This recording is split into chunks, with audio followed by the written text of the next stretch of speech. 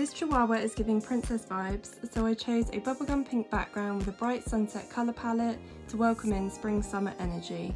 Comment if you like this quirky style and send me a message telling me about your precious pet to get your own unique painting.